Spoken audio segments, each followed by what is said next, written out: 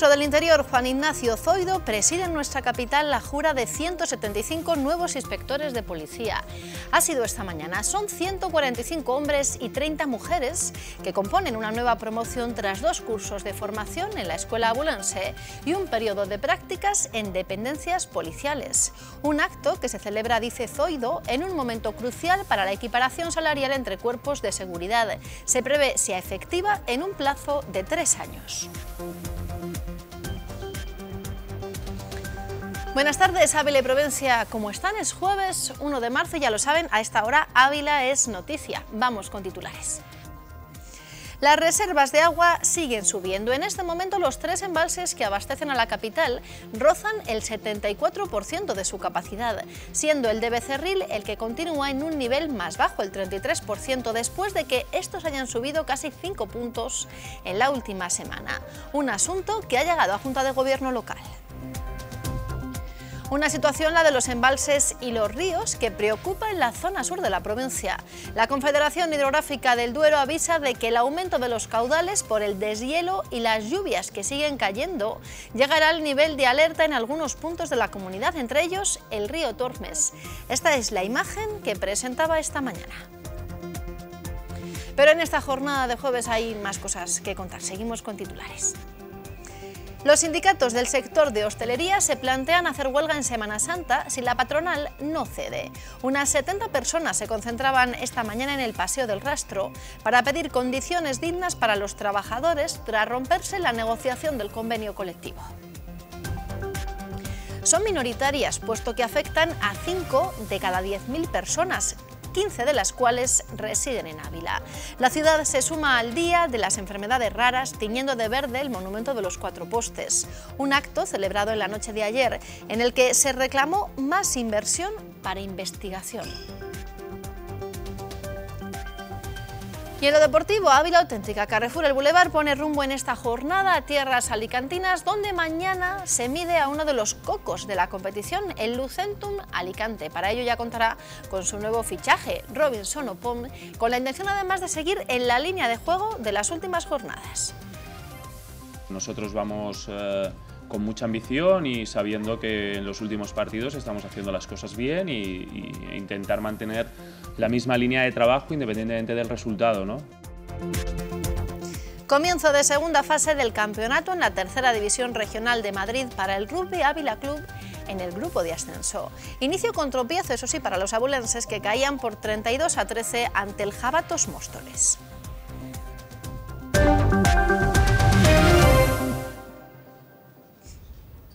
Es la imagen de esta jornada de jueves 1 de marzo. Sigue activo ese nivel amarillo por precipitaciones intensas, mientras vemos como la mínima registrada en la capital ha sido de 4 grados en el puerto del Pico, en la provincia de 4 grados en el puerto del Pico esta madrugada y en la capital 8,2 también a primera hora del día. Abrimos ya este tiempo de noticias, lo hacemos desde la Escuela Nacional de Policía, donde esta mañana 175 nuevos inspectores han jurado su cargo. Lo han hecho ante el ministro del Interior, Juan Ignacio Zoido.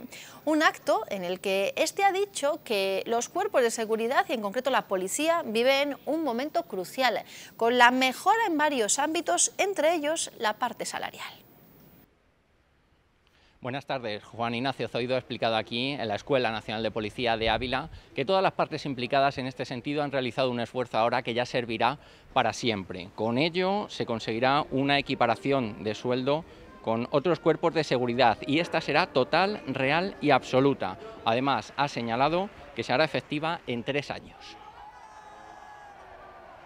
Aunque se hayan dicho muchas cosas sobre la equiparación salarial, es una cuestión de la que se está hablando, como les decía, hace 30 años, pero este, hasta este momento ningún gobierno la había planteado con rigor y seriedad, por firme convicción y porque la situación económica ahora lo permite. El compromiso de servicio y de permanente dedicación a la defensa de estos derechos y libertades ha de ser el horizonte que guíe vuestra actuación profesional. Vuestra tarea como inspectores consistirá fundamentalmente en la dirección y mando de grupos operativos. Liderar personas es una de las misiones más gratificantes, pero en una organización como la nuestra, también de las más difíciles. Se lo contábamos en titulares. Las reservas de agua que abastecen a nuestra ciudad siguen subiendo y lo hacen hasta rozar el 74% de su capacidad, en buena parte por el deshielo y las lluvias que caen en estos días. El asunto ha llegado a Junta de Gobierno local. El dato permite al ayuntamiento estar tranquilo con respecto al abastecimiento de agua en la capital abulense. El embalse de Becerril se encuentra casi al 34%, el de Serones al 79,2% y el de Fuentes Claras al 100%. Se sigue captando eh, del agua de Serones, de Becerril y Río Mayor, ya los, eh, los sondeos del Soto ya no, ya no se está captando agua de allí y por supuesto el agua eh, tiene una calidad para su, para su potabilización pues eh, ahora mismo muy buena.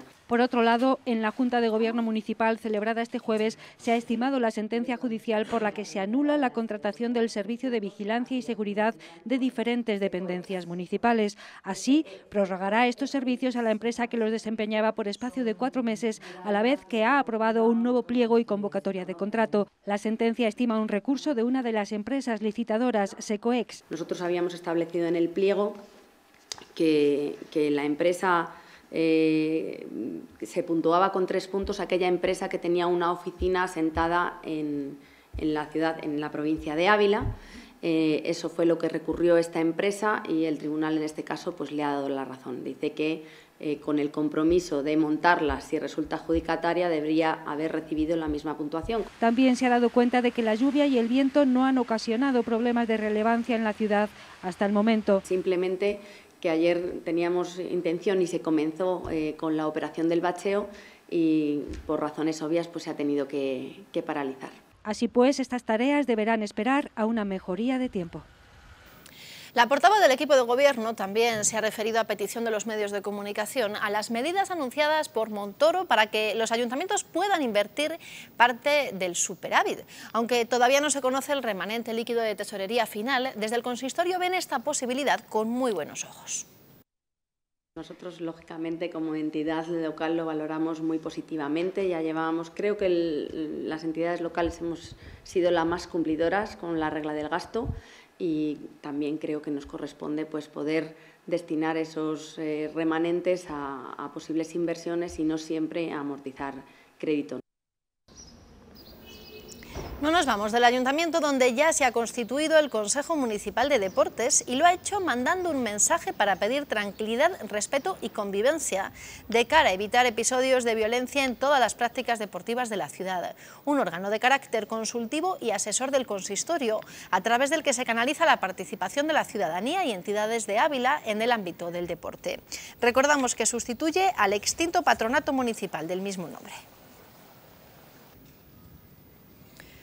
Y ahora hablamos de la Junta de Castilla y León.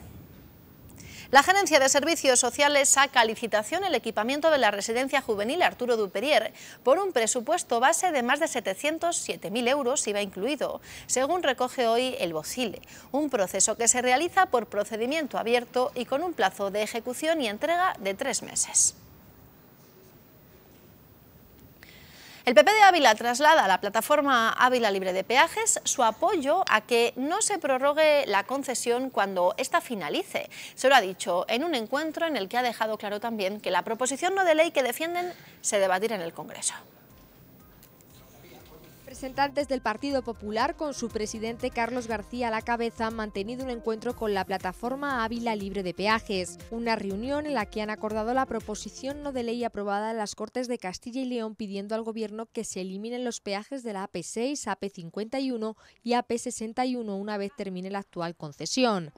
Recuerdan los populares que el texto respaldado en el Parlamento regional también demanda fórmulas viables para compensar a la ciudad de Ávila por el pago del peaje. Para el PP el compromiso a nivel provincial, regional y nacional es el mismo. Por ello, destacan la proposición presentada por esta formación en el Congreso, en la que piden no ampliar los periodos de concesión de dichas autopistas. Del mismo modo, Carlos García ha reafirmado su compromiso a seguir trabajando con coherencia y sentido común, dice, para clarificar y minorar los plazos en este sentido. También en Crónica Política, el Partido Socialista ha hablado de empleo. En concreto, para analizar los datos del segundo informe del Barómetro de Empleabilidad y Empleo de los Universitarios en España. El secretario de Juventudes Socialistas, Felipe Paredes, los tacha de desoladores, teniendo en cuenta que el 27% de los universitarios que cuentan con un título de máster y llevan trabajando de dos a tres años, declara percibir un salario que no supera los 1.000 euros al mes. Un 9% cobra menos de 600 euros. Para Felipe Paredes, esta situación, sumada a la elevada tasa de paro juvenil, plantea una radiografía muy negativa para quienes son el futuro de nuestra provincia. Pero no dejamos al PSOE ya que el concejal Josué Aldudo pone como ejemplo de voluntad política al Ayuntamiento de La Granja, gobernado por los socialistas, tras crear este una bolsa de empleo para la Escuela Municipal de Música. Critica que en el caso de Ávila no se haya avanzado nada, a pesar de que hace dos años en pleno se aprobara una moción del PSOE para poner en marcha este tipo de bolsas. En el caso concreto de la Escuela de Música Abulense, denuncia Aldudo que pasen meses sin que haya un docente para dar las clases por no tener una previsión de profesores sustitutos y que la solución que dé el equipo de gobierno sea devolver el dinero a las familias. Los trabajadores del sector hostelero irán a la huelga en Semana Santa si la patronal sigue sin negociar sus condiciones laborales. Lo han asegurado los representantes sindicales en la concentración que esta mañana partía del Paseo del Rastro y que supone el inicio de sus movilizaciones. Los trabajadores de hostelería de Ávila se plantan y anuncian una huelga en el sector de cara a Semana Santa. Consideran que las condiciones laborales a las que están sometidos son más que suficientes para tomar esta decisión, a lo que añaden las cifras que arroja el turismo en nuestra ciudad. En Ávila hay 800.000 visitantes que han venido, que a poco que esos 800.000 visitantes se dejen 10 euros para comer o para tomar una Coca-Cola se dejan 8 millones de euros y las pernoctaciones, estamos hablando de 1.400.000 pernoctaciones, que esos son datos dados por los propios eh, hoteleros de aquí de Ávila y a una media de 40 euros por habitación suponen 56 millones de euros. Con estos datos aseguran que el turismo ha dejado 65 millones de euros en Ávila que no repercuten en los trabajadores. Si la patronal no cede, el sector hostelero convocará la próxima semana al Serla para ir a la huelga un mínimo incremento salarial, jornadas interminables o pagos en B son algunas de las situaciones que denuncian y que quedan lejos de sus reivindicaciones. Sin que quieran tener un control de esa jornada, sin que quieran tener más que una flexibilidad para tener esclavizados a los trabajadores, para poder darles y quitarles lo que ellos les dé la gana, teniendo un convenio eh, súper bajo. El, salario, estamos hablando de los salarios más bajos de la, de la comunidad autónoma y seguramente de toda España. Una concentración en la que también han respondido a las declaraciones vertidas en el día de ayer por el presidente de CONFAE, Juan Saborido. Se atreva a llamarnos sinvergüenzas y que no tenemos vergüenza por hacer una concentración y hacer una manifestación en defensa de los derechos de los trabajadores. Nos resulta realmente extraño. Yo creo que debería de preocuparse más porque los ciudadanos de Ávila y los trabajadores de Ávila tuvieran unos salarios más dignos. Cerca de 70 personas han salido a la calle para denunciar esta situación. Hacemos ahora un alto en las reivindicaciones con otro apunte ligado al mundo empresarial. CESBIMAP, la empresa top de nuestra provincia según el primer índice de relevancia elaborado por una conocida empresa de datos y gestión de la información. Este se ha elaborado a través de encuestas a profesionales locales, estudio de presencia web, crecimiento número de empleados y facturación. Entre las empresas más relevantes de Castilla y León, CESBIMAP se sitúa junto a Renault en Valladolid, Siro en Palencia o Antolín en Burgos. Nos vamos ahora hasta el medio rural, en concreto hasta Piedraíta, aunque les avisamos de que las siguientes imágenes son duras. Asaja denuncia un nuevo ataque de lobos, esta vez a solo 500 metros del casco urbano de la localidad. Ocurrió en la jornada del lunes en el paraje conocido como la Huerta de los Gallegos, con el resultado de una becerra de dos meses y medio de vida muerta. Un ataque que ha afectado a un joven ganadero de 22 años. Y en otro punto de la provincia, Altamiros, la Guardia Civil investiga a una persona por ocasionar la muerte a 16 reses de ganado bovino por falta de atención y cuidado. Varias vacas y terneros que una vez localizados por el Seprona podrían llevar muertos una semana. El resto de reses de la explotación presentaban claros síntomas de desnutrición. Se le acusa de presuntos delitos contra la flora, fauna y los animales domésticos.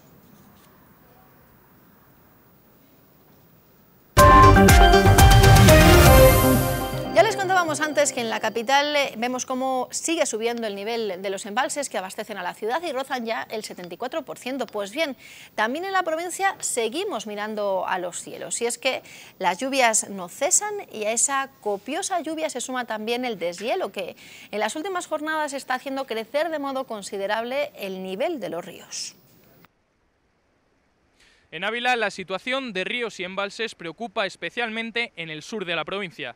La Confederación Hidrográfica del Duero avisa que la crecida de los caudales podría desembocar en una alerta, especialmente en lugares como este, el río Tormes, donde nos encontramos. Esta es la imagen que presenta el río Tormes a su paso por el barco de Ávila, con un caudal que ha llegado a los 200 metros cúbicos por segundo durante esta mañana. Sí, hombre, oye, la cosa que venga agua, porque mira, agua hay para todos, mira, para abajo va. Y para todos hay agua.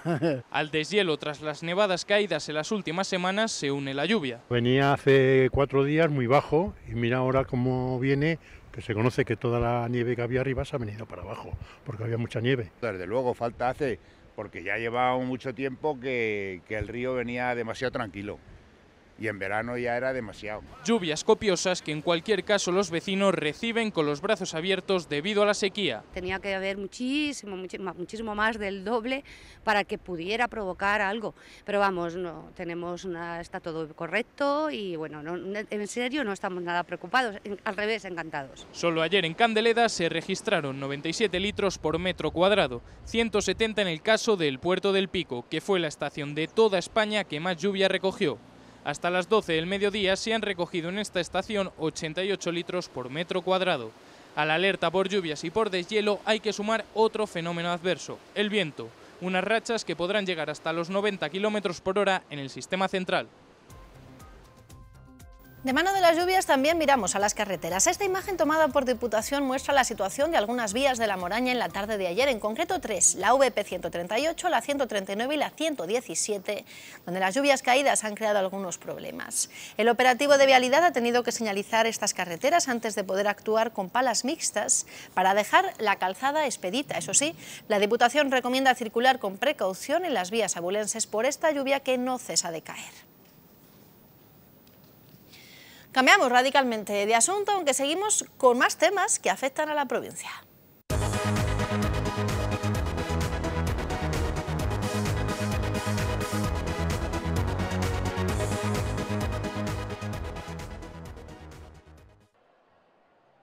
De mano de Ávila Auténtica nos vamos hasta Bilbao. Allí entre el 2 y el 4 de marzo se celebra la Feria Alimentaria Gustoco. 15 productores de la marca de calidad ligada a la Diputación aterrizan en este certamen y participan en la denominada misión inversa con compradores estatales y franceses procedentes de canales gourmet, tiendas especializadas, hoteles y caterings de cara a entablar contactos profesionales. Abrimos ya la segunda parte de este tiempo de noticias desde el Casino Abulense, que inicia una programación cultural que pretende incorporar a su sede distintos acontecimientos artísticos. El primero de ellos es la exposición de Fernando García Almeida, que puede verse todos los días de la semana hasta el mes de abril.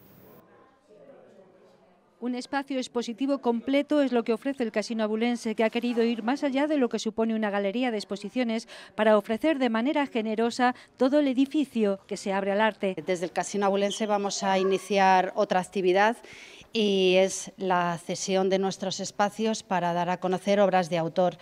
En este caso, iniciamos hoy una exposición con el escultor y pintor eh, Fernando García Almeida, que nos va a acompañar hasta el día 8 de abril. De tal manera, esta muestra se cuela en el espectador de forma distinta mientras éste pasea por el casino. El planteamiento de la exposición es amplio. Eh, se trata de, inicialmente, eh, tomar el espacio de, de la propia sede del casino para darle una nueva imagen durante el periodo de la exposición. Se han cambiado cuadros, se ha hecho una nueva imagen y va a haber una serie de actividades complementarias. El autor expone más de medio centenar de obras en las que el retrato está especialmente presente. La presentación consta de pintura y escultura. En la parte de abajo podemos encontrar desde formatos más de dibujo, eh, collage, en la parte de arriba óleos y también podemos encontrar escultura en piedra. Se completará esta propuesta creadora con ponencias, representaciones como la del cuento No hay miedo o visitas guiadas por el propio artista a la muestra todos los miércoles. Y en el apartado social el protagonismo es ahora para la Fundación Ávila y Bankia y es que abren el plazo de solicitudes de ayudas para la cesión de espacios como el auditorio de la Fundación, las aulas o el auditorio del Palacio Los Serrano y el teatro. Valoradas en 15.000 euros, estas ayudas ofrecen a las ONGs de la provincia la posibilidad de realizar actividades benéficas en los espacios de la Fundación. El próximo día 10 de marzo, la Universidad Católica de Ávila, en colaboración con el Instituto Berid, organiza la jornada La Familia Importa, un evento destinado a la formación y orientación para los núcleos familiares, que servirá para poner en valor aspectos como la maternidad. La cita se celebrará en el Salón de Actos de la UCAP y contará la inauguración con la consejera de Familia Alicia García, entre otros.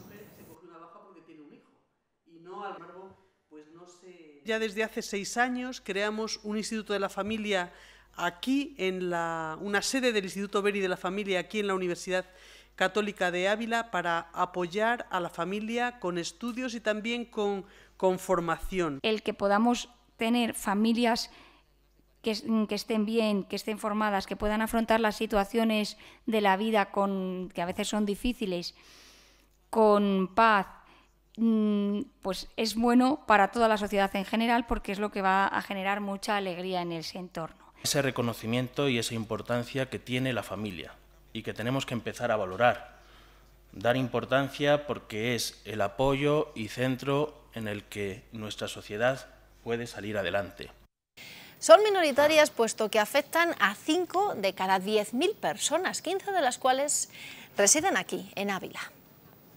La Asociación de Apoyo a Familias con Enfermedades Raras y Sin Diagnosticar ha querido sumarse a la visibilización de este tipo de patologías en la celebración del Día Mundial de las Enfermedades Raras. Lo ha hecho con el apoyo del Ayuntamiento y la Junta de Castilla y León, tiñendo de verde el emblemático monumento de los Cuatro Postes.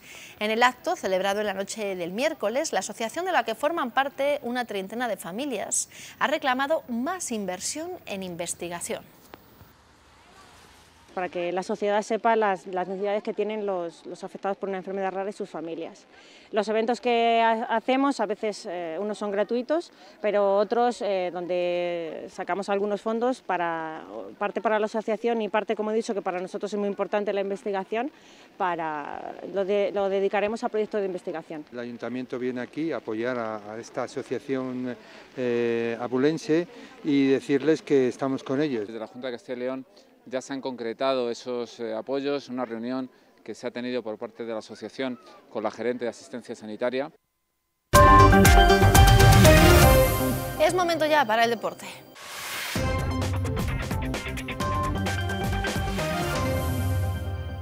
Partidazo en la Les Plata para mañana viernes. Ávila Auténtica Carrefour El Boulevard, cuarto clasificado, se mide al tercero de la tabla, Lucent, un Alicante, en un choque en el que los verdones no renuncian a nada. Todo hace indicar que debutará el nuevo fichaje Opon, mientras que Sidao es seria duda. Comienza la jornada 23 de la LED Plata con un duelo directo. Los verderones viajan a casa de Lucentu, un Alicante, liderados por Rivero y el es de Lóvila, Álvaro Lobo. Equipo que está diseñado eh, para ascender por estructura, por, economía, por tradición. Deberían estar ahí arriba y, tienen la obligación de, tienen la obligación de, ganar y de ascender. Pero los abulenses con su racha de cinco victorias consecutivas no dan nada por perdido. Vamos eh, con mucha ambición y sabiendo que en los últimos partidos estamos haciendo las cosas bien y, e intentar mantener la misma línea de trabajo independientemente del resultado. ¿no?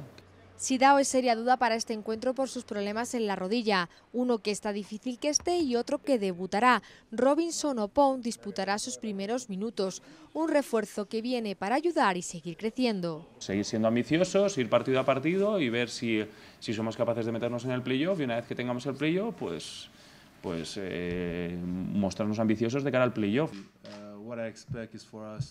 Agradezco a Ávila la oportunidad de competir a este nivel. Lo segundo, espero trabajar fuerte de cara a los playoffs. Creo que somos un buen equipo, trabajando duro. Día a día creo que podemos tener éxito y llegar muy fuerte a este momento clave de la temporada como son los playoffs. Jugador que ha coincidido con la selección ugandesa con otro exverderón como es Brandon Sevirumbi. Y también en lo deportivo en esta jornada hablamos de rugby. Comienzo de segunda fase del campeonato en la tercera división regional de Madrid para el Rugby Ávila Club en el grupo de ascenso. Inicio con tropiezo para los abulenses que caían por 32 a 13 ante el Jabatos Móstoles. Hasta finales de abril los locales pelearán por los dos primeros puestos de la clasificación y que dan acceso a ese ascenso a la segunda división B de Madrid.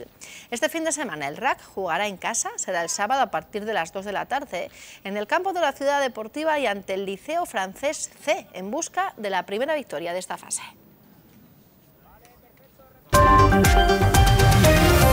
Vamos ya con las previsiones del tiempo.